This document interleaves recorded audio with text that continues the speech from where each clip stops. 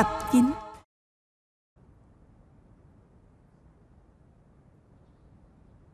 Độc dược của đường môn thật sự cực độc. Đôi tay này coi như bị phế rồi. Không ngờ thuốc giải độc của đường môn Cũng không thể hoàn toàn chữa khỏi đôi tay cho huynh. Thuốc giải độc là thật Nhưng đường môn tam cô đã không đưa hết. Dương tam ca trúng không chỉ là một loại. Nếu mua giải được tượng còn lại trong 12 tượng ngọc phỉ thúy đó Thì có lẽ tay của dân tam ca đã khỏi từ lâu rồi. Thật là đáng tiếc Có một con mũi giải không được. Không lẽ trong 12 tượng ngọc phỉ thúy này có con giả sao? Mùi cũng không chắc. Nhưng đúng là có một tượng trong đó Không được ổn lắm. Nhưng mà nếu đúng như mùi đã xem qua Tượng ngọc phỉ thúy này đúng là bảo điển của y học và võ học. Khó trách giang hồ có nhiều người vì tượng ngọc phỉ thúy Không tiết trả bất cứ giá nào cho dù mất đi mạng sống Để có được nó. Nhưng cho dù có được tượng ngọc phỉ thúy Cũng đâu có ích gì chứ. Quách huynh Cẩm y vệ đã nghi ngờ mọi người đang chứa chấp tôi và sở sở Chúng tôi không thể ở lại đây lâu. Nếu không sẽ liên lụy tới mọi người đó. Bây giờ kinh thành đang rất rối loạn. Cẩm y vệ được phái đi tra xét khắp nơi rất nghiêm ngặt. Nơi nguy hiểm nhất chính là nơi an toàn nhất. Hai người chỉ có ở đây mới an toàn thôi. Nhưng mà Cái tên Khúc tinh võ Chắc chắn sẽ không bỏ qua đâu. Hắn không dám lục xét trường phong tiêu cục của chúng tôi đâu. Trừ khi hắn không sợ tiểu bành dương gia lấy đồ của hắn À, xin mời, xin mời ghé qua Kéo hồ lô đây Dạ, xin mời ghé qua Ghé lửa đây à, Dạ, dạ Đứng. Đứng lại Đứng Đứng lại Ờ, gì Đứng vậy lại. trời, có chuyện gì vậy Đứng lại dữ vậy Dạ, xin mời ghé qua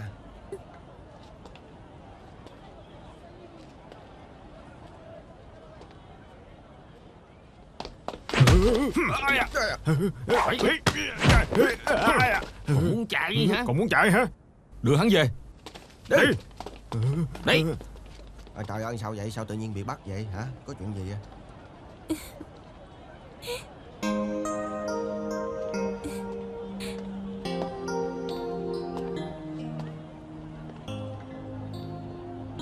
Mùi làm sao vậy? Ờ, Sao Quynh lại ở đây? Huynh hỏi mùi đó. Không nói cho Quynh biết. Tại sao vậy? Không sợ là nói với Quynh rồi Quynh sẽ cười nhạo muội sao? Vì vậy mà không thể nói. Có bao giờ mà huynh cười nhạo muội chứ? Thì lần trước Quynh đã cười nhạo muội đó. Vì vậy mà muội không nói đâu. Không nói cho Quynh biết. Được, muội không nói chứ gì. Huynh đi đây. Nè Quynh quay lại. Cái gì nữa? Ừm, Thấy Quynh muốn biết như vậy muội nói cho Quynh biết Vừa rồi huynh rất muốn biết Bây giờ thì không muốn biết nữa. Con người của Quynh sao nói đổi là đổi vậy chứ? Vừa rồi rõ ràng là muốn biết mà. Được rồi, nói đi. Mùi nói cho Quynh biết Chờ khi Mùi có tiền rồi Mùi nhất định sẽ bỏ tiền ra. Hả? Mua lại con đường này cho coi Vì rất có ý nghĩa kỷ niệm. Bỏ tiền mua lại con đường này hả? Tại sao vậy chứ? Quynh có biết không? Hồi nãy Ở tại đây nè. Hử? Quách hút đã hôn muội đó.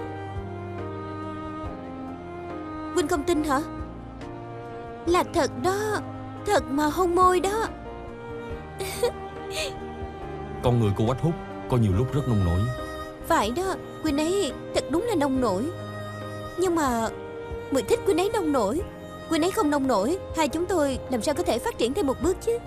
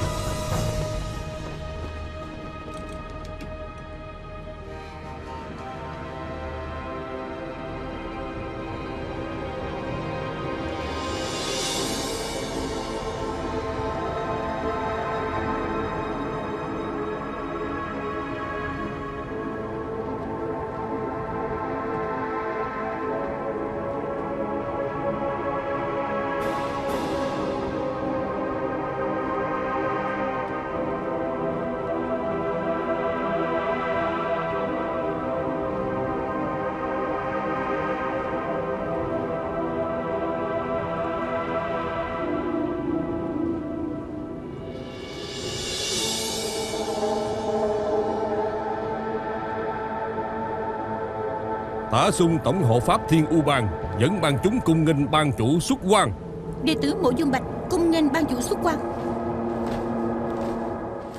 Cung nghênh ban chủ xuất quan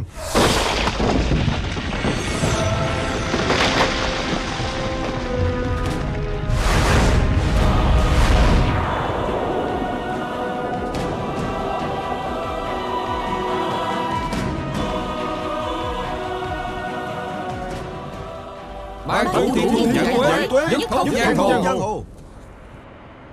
Tổng hộ pháp Thời gian bổn tọa bế quan Trên giang hồ đã có những chuyện lớn nào xảy ra? Hồi ban chủ Gần đây Chuyện lớn đã xảy ra đó là tự ngọc phỉ thúy tái xuất giang hồ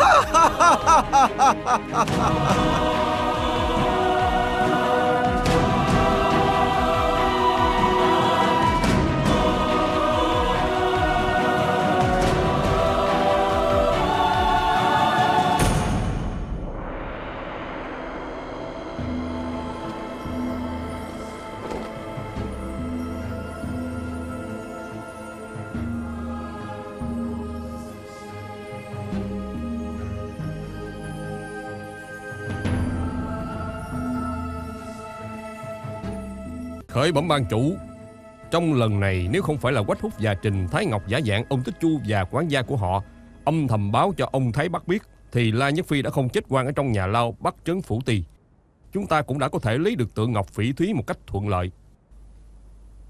Ừm Tượng Ngọc Phỉ Thúy là chí bảo của Võ Lâm. Chẳng lẽ ngoài bổn ban ra Không còn ai muốn lấy hay sao? À ban chủ anh Minh. Lần này vì tranh giành tượng ngọc phỉ thúy Các môn phái khác trên giang hồ đều tề tựu kinh thành. Uy hiếp lớn nhất đối với bổn bang Cũng chính là đường môn ở Tứ Xuyên. Lão quyền bà đường môn tam cô đó Tại sao vẫn chưa chết? Đường môn tam cô Cô ta đã từng giao đấu với khoái kiếm tân lực. Kết quả thế nào? Đường môn tam cô đã không giành lấy được gì. Nhưng mà lúc đó tân lực Có bổ đầu phong bình ra tay tương trợ. Cũng thật là náo nhiệt. Khởi bẩm ban chủ. Bổn ban trước giờ hành sự ân oán phân minh có thù phải trả. Chuyện lần này nếu không phải quách hút của trường phong tiêu cục xen vào gây rối Là nhất phi hắn đã không phải chết trong lao ngục. Vì vậy, chúng ta tuyệt đối không thể tha cho quách hút.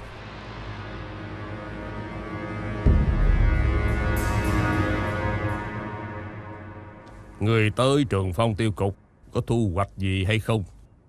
Bấm đại nhân, Quách hút thiếu cục chủ của trường phong tiêu cục Không có lòng quản lý chuyện trong tiêu cục. Tiêu cục đã là hữu danh vô thực. Mối làm ăn ngày càng ít.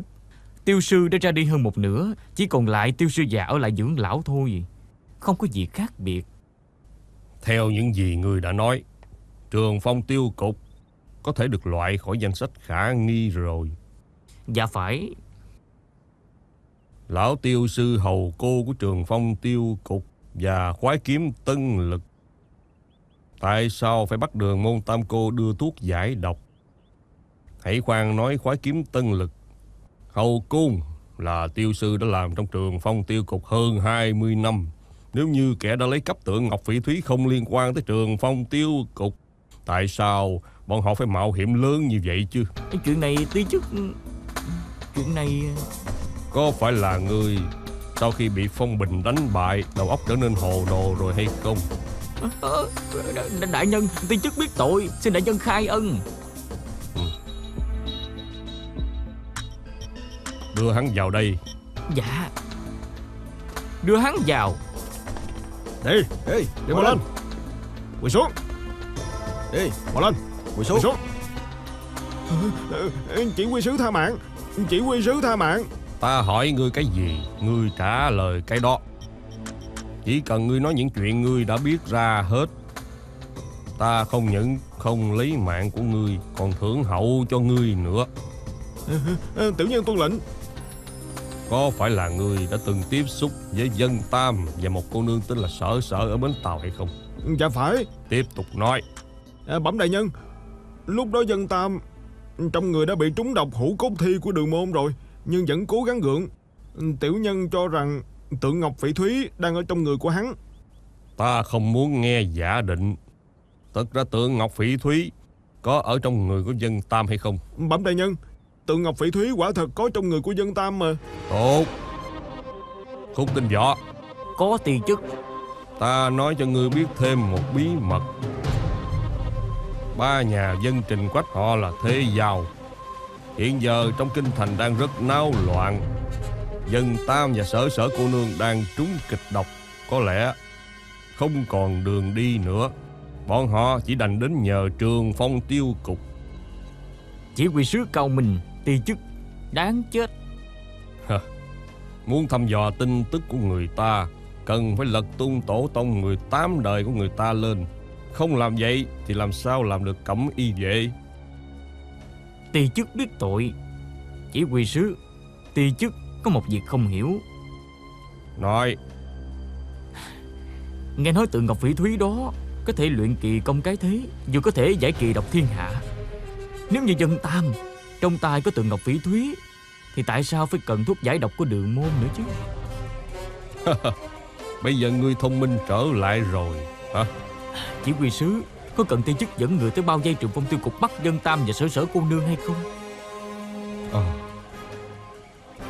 Quách hút có tiểu bành dương gia làm chỗ dựa. Chúng ta không thể manh động hành sự. Chỉ cần bọn họ vẫn còn trong trường phong tiêu cục Chúng ta lúc nào cũng có thể bắt được bọn họ. Tiên chức tuân lệnh.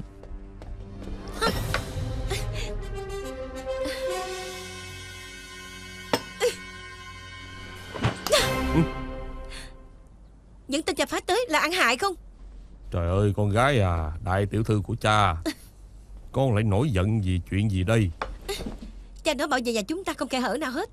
Kết quả nửa đêm Vẫn có người cầm đao xông vào phòng của con Cố tình ép đặt nhẫn Nói ra tượng Ngọc Phỉ Túy Đã cho con hồ ly tinh đó. Cha cười cái gì chứ? Cha toàn phát những tên vô dụng Vậy mà cha vẫn còn cười được.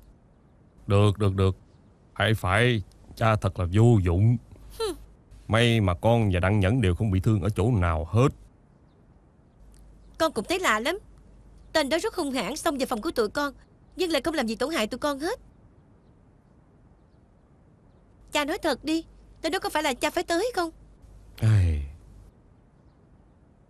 Người tướng công đó của con Không đánh không thành tài đâu. Cha Muốn đánh phải để con đánh chàng chứ. Cha muốn đánh thì đánh hồ ly tinh đó đi. Được được được được được. Cha hứa với con. Cha sẽ bắt con hồ ly đó về Và trói chặt cô ta đưa đến trước mặt con Mặc cho con xử lý cô ta có được không? Được. Con phải lột da cô ta Rút cân cô ta. Phải đánh chết ả Con phải đánh chết ả tên tôi đã tơi. Ừ, Được được được được. Được rồi con gái ngoan. Cha đều hứa với con. Con phải nghe cha nói câu này Phu thê đầu giường cãi nhau cuối giường hòa. Đóng cửa lại không có chuyện gì là không thể giải quyết. Một lát nữa Con hãy làm món ngon cho nó ăn ha. Ừ, Chà. Tăng tăng tăng. Tướng công Chàng đói rồi phải không? Đói lâu lắm rồi á.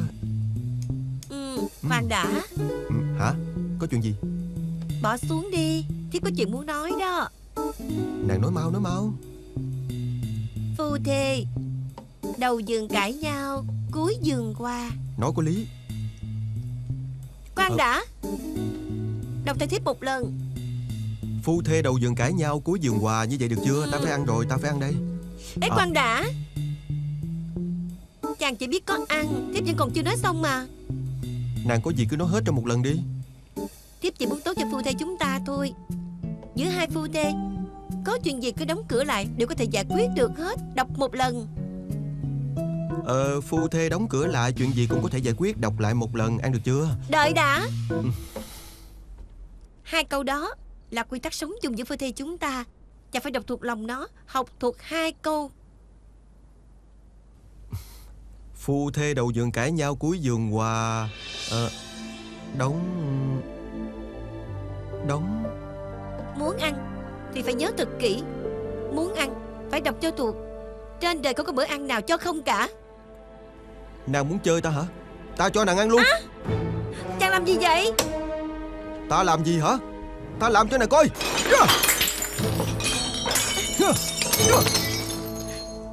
Chàng điên hả. Ta điên rồi đó. Thì sao hả? Hả? Ta cho nàng biết Ta thật hận bản thân của mình Tùy thân của ta đang ở trong phủ tiểu thần tài Chắc chắn là kiếp trước của ta. Đã làm chuyện gì xấu xa rồi? À phải. Kiếp trước chắc chắn Chắc chắn mình là kẻ xấu. Wow, wow, wow. Cô cô cô là ai Tại sao ở phòng của tôi? Thiếp là thê tử của chàng. Cô là thê tử của tôi. Vậy tôi là ai? Tôi là ai? Tôi là Tôi là À tôi là chó. Wow, wow, wow. Điên rồi.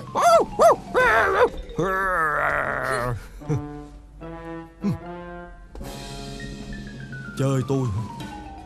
Chơi tôi có được không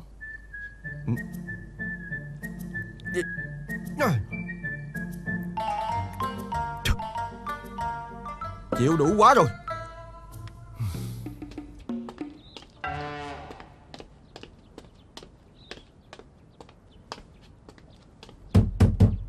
Mở cửa Tôi biết các người đều ở trong đó. Mở cửa mở cửa. Mở cửa mau. Đại tiểu thư không có nhà. Làm sao ngươi biết ta muốn tìm đại tiểu thư? Ngày nào ông cũng tới gõ cửa hết. Chúng tôi ai mà không biết ông muốn tìm đại tiểu thư? Cổ không có ở đây. Nè Ngươi tránh ra cho ta. Tôi cho ông hay nha đại tiểu thư không có ở đây. Được. Vậy tôi đứng đây chờ cô ta trở về. Nếu hôm nay cô ta không trả tiền á, Thì tôi sẽ không đi đâu hết đó. Nè tôi cho ông biết nha. Trường phong tiêu cục không phải nơi để cho ông quấy rối đâu. Ông đừng có nằm giả ở đây. Là các người nằm dạ mới đúng. Các người nợ tiền Mà không cho người ta đòi nợ. Tiêu cục các người từ trên xuống dưới đều là vô lại. Ừ, Chi bằng các người hãy tháo dỡ tấm biển trường phong tiêu cục xuống Mà đổi tên thành vô lại tiêu cục cho đúng đi. Ông Nè nè nè có chuyện gì? Có chuyện gì? Ờ, Lục gia. Có chuyện gì vậy? Lục gia Trước đây cửa của tiêu cục luôn rộng mở Bây giờ thường đóng Nghĩa là cố tình không cho chủ nợ như tôi tới đòi nợ rồi. Không phải đâu. Nợ tiền trả tiền thiếu nợ trả nợ là chuyện đương nhiên mà.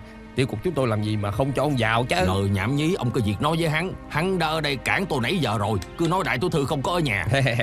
Thật là ngại quá à. Ờ dạo này tiêu cục làm ăn không được tốt lắm Ông có thể thông cảm thêm vài ngày không? Ai không thông cảm chứ Lần trước nể tình đại tiểu thư đã nói là cuối tháng sẽ trả tiền lãi. Ừ, phải, phải, Cho phải. tới giờ không thấy bóng dáng đâu hết trơn à.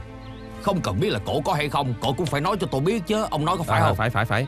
À, Trước đây tiêu cục chúng tôi chưa bao giờ nợ người ta nhiều tiền như vậy. Lần này đại tiểu thư thật tình rất là khó xử đó. Cổ thấy khó xử Chẳng lẽ tôi không thấy khó xử hả? À, à, Tiền trang đó đâu phải là của tôi mở đâu. À, à, Tôi cũng chỉ là người làm công thôi mà.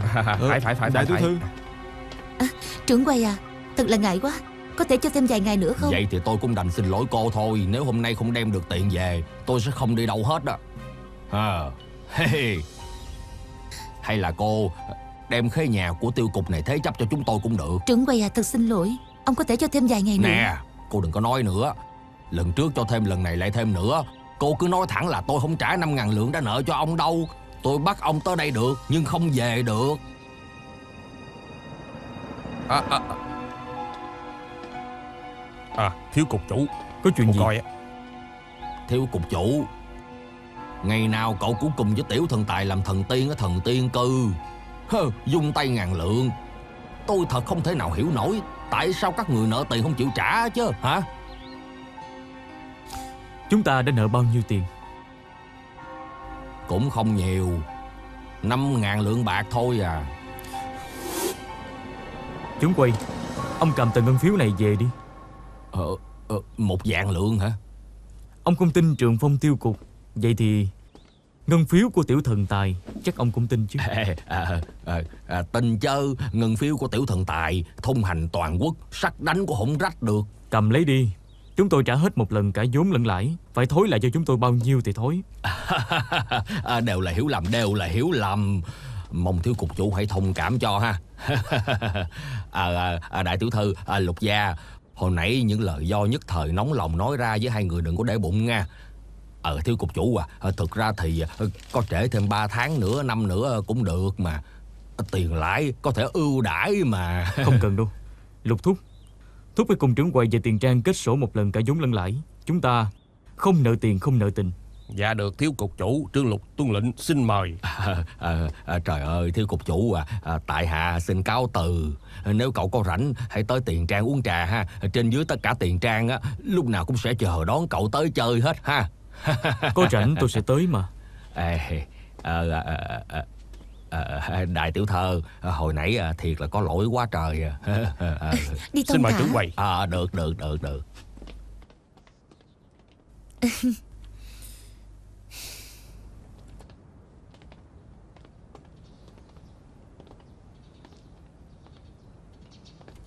Quỳnh lấy ngân phiếu của tiểu thần tài trả nợ. Có phải đã quyết định nhận chuyến tiêu tiểu thần tài nhờ quân bảo vệ sở sở rồi không? Thái Ngọc Xin lỗi muội. Huynh không biết tiêu cục đã thiếu nợ cao như núi Nợ người ta nhiều tiền tới như vậy. Tiêu cục đã nhiều năm qua Chưa chính thức đi chuyến tiêu nào hết. Có thiếu nợ hay không Trong lòng Quynh biết rõ. Chẳng qua không muốn đối diện thôi. Trưởng quay tiền trang không đang đến thật đúng lúc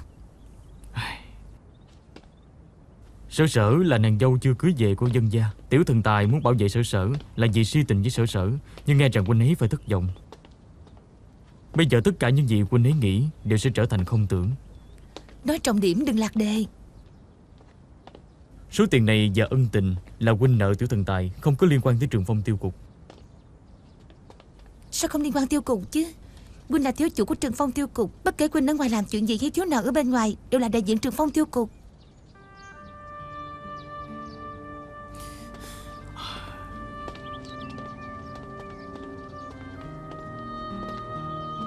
Số nợ lần này trường phong tiêu cục nợ tiền trang Chỉ là chuyển sang người của tiểu thần tài đặng nhẫn. Điều khác biệt duy nhất là tiểu thần tài đặng nhẫn Sẽ không nhận tiền lãi của huynh Nhưng chúng ta vẫn còn nợ người ta hơn 5.000 lượng.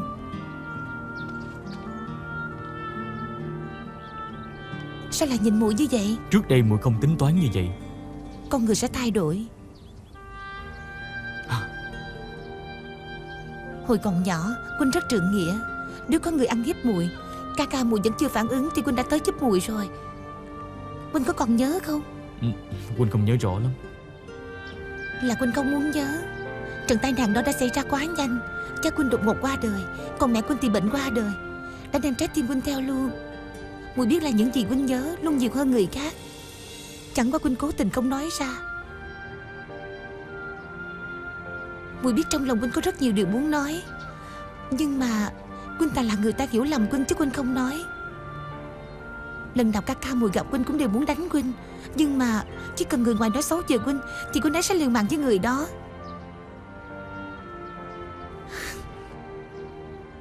Ngày mà cha của chúng ta được hạ táng, Quynh đã quan kiếm của cha Quynh xuống dưới mộ. Ca ca mùi đã cầm theo bàn lông công của cha mùi mà rời khỏi đó. Từ đó về sau Đã định sẵn hai Quynh không đi chung đường.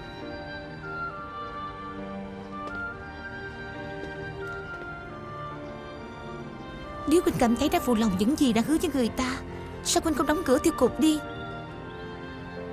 À, Mùi hiểu rồi. Quynh không đóng cửa tiêu cục Có phải là chị Quynh cảm thấy có lỗi với cha Quynh Có lỗi với hầu túc Có lỗi với lục túc Có lỗi với ca ca muội? Thậm chí có lỗi với sự quyến luyến đối với tiêu cục trong lòng Quynh Quỳnh không có.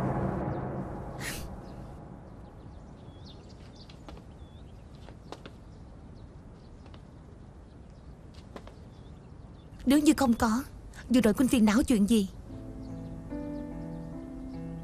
Mùi biết là Quynh rất nhớ cha Quynh Ca ca mùi cũng vậy mà. Quynh có từng nghĩ tới Lục túc cho hậu túc cả đời Chỉ làm nghề bảo tiêu. Lẽ ra phải sống những ngày tháng gươm đau dính máu. Quynh làm vậy không phải đã chùi dập ý nghĩa tồn tại của họ sao? Làm vậy sẽ làm họ cảm thấy sống không có giá trị. Thái Ngọc à. Nghe đây Quách Hút Giờ muội không nói sao này sẽ không nói nữa? Quách Hút Chúng ta từ nhỏ tới lớn Cùng nhau lớn khôn, Ngày đến bên nhau. Trong lòng Quynh nghĩ gì muội đều biết rõ hết. Muội luôn chờ đợi Quynh, Giống một người đàn ông thực thụ Hôm nay, Cuối cùng muội chờ được rồi. Nhưng muội thấy mình đã vui mừng quá sớm.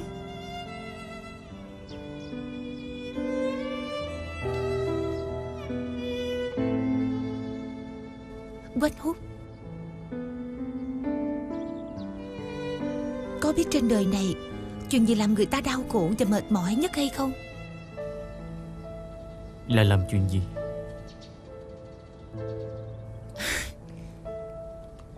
Đó là làm một việc Biết là không có chút hy vọng nào Nhưng vẫn phải đi làm Là mệt mỏi nhất. Thái Ngọc à Xin lỗi muội quynh biết là quynh không tốt. Giữa Quynh và muội Không cần nói những lời này. Trong những năm qua muội gánh lấy cái gánh nặng này. Muội không sợ cực khổ Khổ cách mấy cũng chấp nhận. Nhưng mà Quynh đối với bản thân như vậy, Thực chất là không dám nói chuyện với nội tâm mình. Trước giờ quynh chưa bao giờ giết ai. Nhưng mà quynh đã giết trái tim của quynh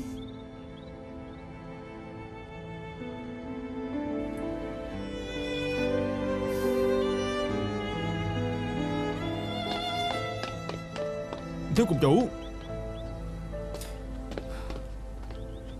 Đặng phu nhân đã tới rồi. Đặng nhẫn bị hồ ly tinh làm mê muội. Suốt mấy ngày chàng ấy đã không ăn được gì rồi. Ta có lòng tốt là một bàn rượu thịt cho chàng ấy. Đều bị chàng ấy hất đổ hết. Còn ăn nó lung tung Học theo chó sủa nữa chứ. Có phải chàng ấy bị trúng tà rồi không? Hả? Huynh ấy sủa như chó à? Sủa có giống không? Huynh còn hỏi chuyện này nữa Ta thực tình nghĩ không ra cách nào. Ta nghĩ tới nghĩ lui Đành phải tìm Huynh mà thôi. Huynh còn không mau nói đi. Ờ vậy thôi được. Tôi nghe lời cô thức khuyên Huynh ấy. Ừ. Ừ.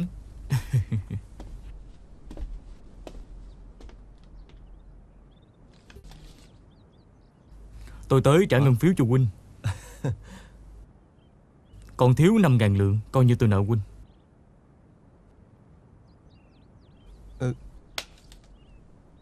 Quách hút Không phải lần trước chúng ta đã nói rõ ràng rồi hay sao?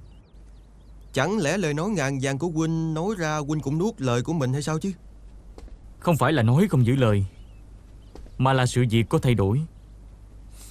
E rằng Chuyến tiêu này không thể nào thực hiện được. Ừm À ngồi đi ngồi đi ngồi đi ngồi đi Nói cho rõ đi.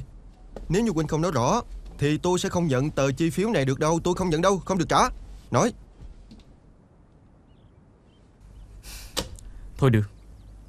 Nói thật với huynh vậy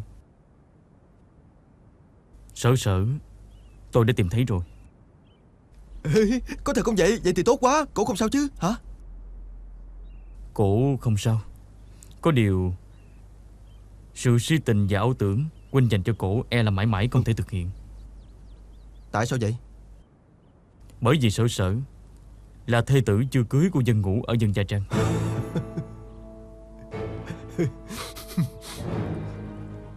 Huynh gạt tôi ha Là ông Tích Chu kêu Huynh tới gạt tôi có đúng không? Tôi sẽ không nói đùa với huynh một cách tàn nhẫn như vậy đâu.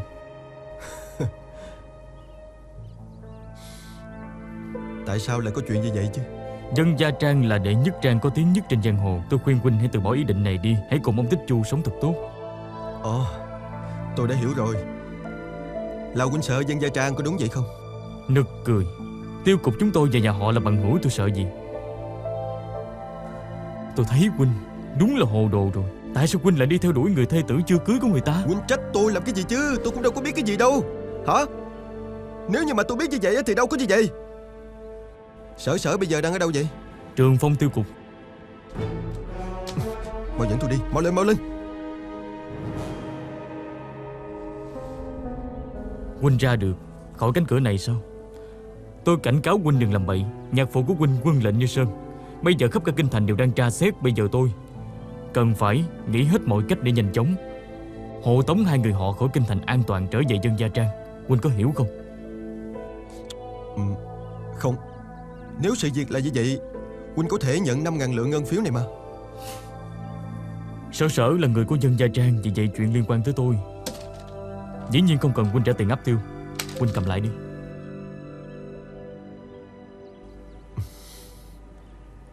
Quách hút Một lời của Huynh đáng giá ngàn vàng.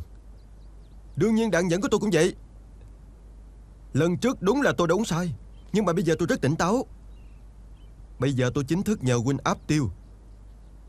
Xin mời quách thiếu cục chủ trường phong tiêu cục. Hộ tống, Sở sở cô nương an toàn trở về dân gia trang.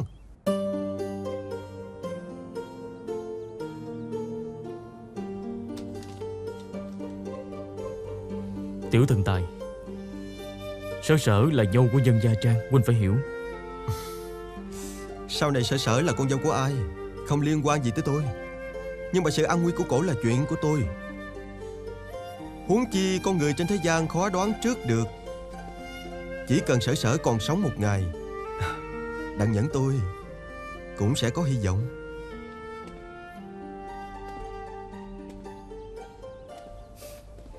Tiểu thần tài Tôi muốn hỏi Huynh Huynh có biết giá trị thật của tượng ngọc phỉ thúy không? Huynh cam tâm tình nguyện tặng cho sở sở à?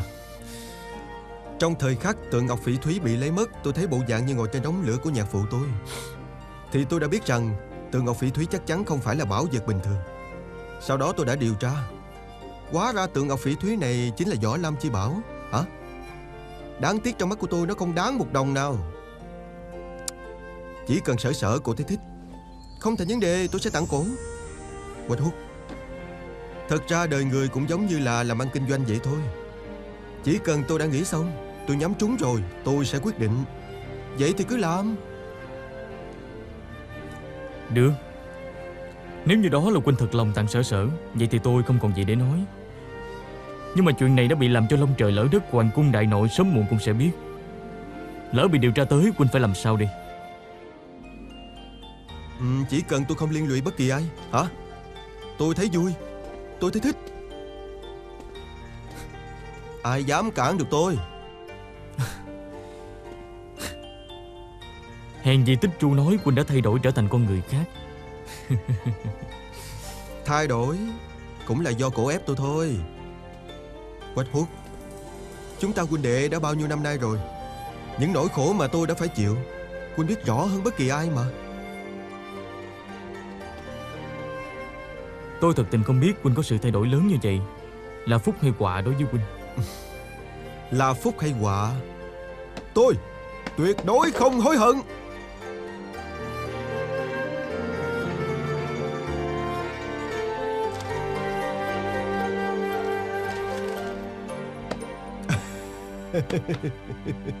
Hảo huynh đệ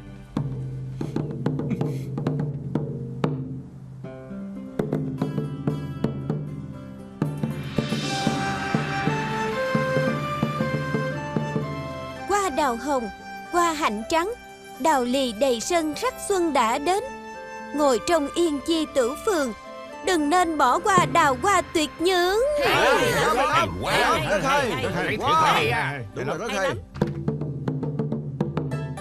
Rượu của tôi ở đây vốn không tầm thường, với lại có những người tốt ở đây. Cải tà quy chánh hiền lành bộc trực ký bắt tam lang đã thay đổi tốt hơn. Bây giờ là những con sói hiền lành ngoan ngoãn. Mọi người xem, đừng nóng lòng, chúng ta hãy mời họ ra đây. Hay lắm hay Hay lắm hay lắm Vui thiệt. Hay Hay lắm hay lắm. Hay, hay lắm, hay lắm Hay lắm, rất hay. Hay thiệt hay thiệt. Phần tài giỏi quá Hay ha. quá. Đúng vậy. Trời giỏi thiệt. Hay quá Hay quá trời ơi. Hay thiệt. Hay quá. Hay lắm. Hay quá Hay quá. Đúng Hay rồi quá, hay quá, hay thiệt, hay thiệt đó. Hay quá hay lắm. Hay quá Hay quá Wow. Ghê ha Xem kìa hay Ờ, hay quá Trời ơi giỏi quá Ở đây nè ông hãy coi Chúng ta có đó đó. Trời ơi giỏi quá. Thôi mau lên. Hả? Dẫn thiệt hay thiệt đó. Cho ta coi. Biểu diễn hay quá. Gì vậy Không dẫn vậy không được. làm gì ở đây vậy? Không còn ở Làm đây. gì vậy? Con ở nhà buồn chán muốn chết à Con không về đâu. Đừng có nhiều lời. Mau về nhà. Nếu để đàn ông ăn hiếp con Thì hối hận không kịp nữa đó. Đi. Cha gì tốt cho con thôi Ở cái chỗ không ra gì này con sẽ học hư đó. Ờ, đúng vậy á. Mau lên. Con không về Ờ. đâu. Xin hỏi đại thúc đây, chỗ này trở thành nơi không ra gì hồi nào chứ? Chỗ này là nơi mở cửa làm ăn đàng hoàng mà. Ờ đúng vậy đúng vậy. Đi, Làm ăn đàng hoàng cô nương. Mở cửa làm ăn đàng hoàng. Nam nữ là thọ thọ bất thần đó. Nhưng mà chỗ này nè Cả đám Ờ, đứng đúng, chung đúng, với đúng. nhau. Ờ đúng rồi. Hơi thanh lâu cũng có quy tắc của Ờ, thanh lâu mà. vậy. Chỗ này của cô còn loạn hơn cả lâu nữa đó. Ờ, Con gái à Mau theo cha về nhà đi. nhà đi Đi nha đầu đây Ờ, đi, đi, đi, Đi, đi, đi, đi. đi, Đi, đi, đi, mau lên. đâu. đâu, Đang vui làm mất nhát. Vui quá mà. Lại phá đám làm gì? Không thể chịu À, nổi mà. cái gì cái gì? Hết chuyện hết chuyện rồi. Đêm nay là đêm yên chi đào hoa, mọi người uống rượu hết mình. Rượu không làm người say, người tự say. đó, Nhưng mà tôi phải mất lòng trước được lòng sau. Ai mà mượn rượu làm bậy, quyết thủ yên chi tôi sẽ đạp người đó bay khỏi đây. Nào, tiếp tục uống đi. À, tiếp tục uống rượu. Tiếp tục nha. À, à, Rồi cạn cạn à? cạn Rồi. Ờ, Cạn Ờ, nha xin mời. Tiếp tục À, xin Ờ, mời. xin mời Trời ơi Trời ơi. Chủ phường Hệ thống gì có tiền Mau ra nói chuyện Đi Mau ra đây nói Đi chuyện đây, đi. ra nói chuyện đi. Ờ, mau ra đây Nếu các người không xử lý Thì chúng tôi sẽ tự giải quyết. Có phải không? Rồi, phải, phải, Chúng phải. tôi tự giải quyết. Giải quyết đi Ra đây đi. Có ra hay không? À, Thì đó bởi vậy. Nè nè nè nè. Yên chi tủ phường là buôn bán đàng hoàng. Không hiếp người cũng không hại người. Các người kêu tôi vô duyên vô cớ tới đó. Về luật là không đúng lắm Ông không phải phòng bộ đầu sao Ông hãy ra lệnh xuống đi Đúng vậy đó Được rồi, được rồi. Phải. Tôi sẽ tới Yên Chi Tủ Phường một chuyến. Ờ, ờ, Mọi người về hết đi. Vậy chứ. Không ra cái gì hết Giống ai hết Chẳng ra gì cả Thiệt Ê.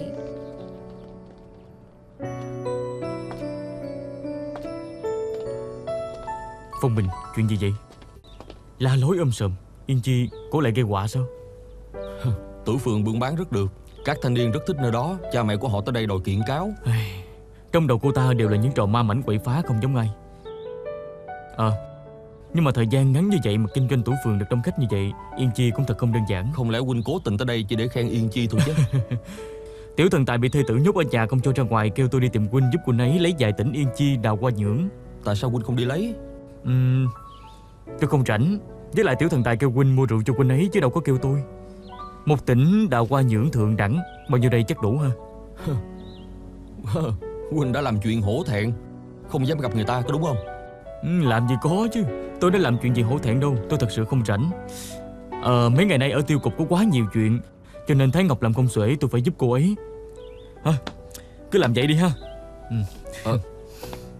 Tiêu cục nhiều việc liên quan gì tới huynh. Quay lại đi. Chờ huynh mua rượu xong hãy nói Huynh không quay lại, tôi không mua đâu. Chuyện gì Huynh đã làm gì người ta? Cái gì mà làm gì người ta Tôi nghe không hiểu huynh đang nói cái gì Không hiểu thiệt hả? Có cần tôi nói không? Huynh đã nghe được gì rồi Người ta đã nói tôi biết rồi. Người ta nào chứ Ai mà dám nhiều chuyện vậy Yên Chi. Yên chi Ừ. Cổ Cổ có thể nói gì với huynh chứ Huynh đừng có hòng gài bẫy tôi Giữa tôi và cô ấy thật tình không có gì Có thật không? Phong Bình à Huynh nghĩ coi Với giao tình của hai chúng ta tôi gạt huynh sao Tôi có thể gạt huynh hả Tôi có cần gạt huynh không Yên Chi nói với tôi. Hôm đó cổ bị huynh kéo ra ngoài đường lớn cưỡng bức hôn môi với huynh. Sao huynh không biết xấu hổ vậy? Huynh hỏi cổ hả Tôi không có hỏi cổ, là cổ tự nói cho tôi biết. Cổ Cổ sao cổ không mắc cỡ vậy? Yên Chi còn nói Huynh giống như là bắt chim nhỏ vậy Ôm rất là chặt. Cổ dùng dậy cũng không thoát Còn hôn người ta không kịp thở nữa chứ. À, tôi, tôi, tôi, tôi, tôi Tôi không có ôm cô ta chặt như vậy. Nếu cổ dùng dãy có thể thoát ra được mà Huynh có biết không tôi? Ha. Nói vậy là Huynh bị bớt đắc dĩ rồi. Cổ vừa đẩy vừa chiều theo. Huynh bị thiệt thòi rồi hả? Ờ, Tôi Tôi không có nói như vậy Tôi chỉ là chỉ là lúc đó bất đắc dĩ thôi. Tôi tôi không phải là cố tình lợi dụng đâu mà. Thật ra không phải là như vậy. Huynh có bớt đắc dĩ như vậy cái đối với Thái Ngọc không? Ây trời ơi. Làm gì vậy? Thẩm vấn tội phạm hả? Có người thấy tiếc tại sao huynh ấy không gặp được tình huống bất đắc dĩ như vậy có phải không? Trọng điểm không phải là chuyện này. Huynh đã hôn môi của người ta Huynh phải chịu trách nhiệm. Tôi chẳng qua Chẳng qua là Huynh nói thật là nghiêm trọng Huynh làm như vậy ở thần tiên cư Không có nghiêm trọng. Nhưng Huynh đã hôn hoàng quê khoa nữ người ta Thì rất là nghiêm trọng. Cầm lấy đi. Hả? Tự đi mua đào hoa nhưỡng đi.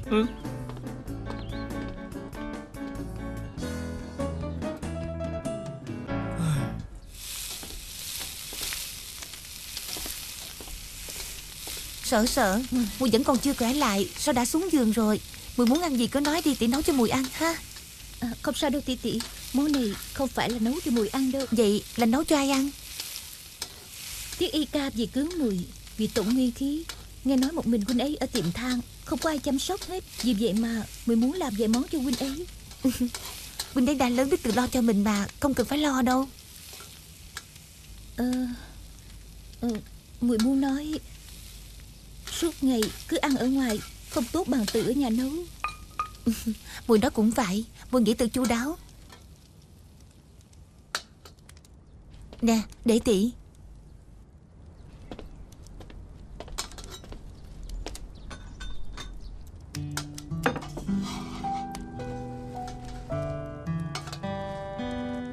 à.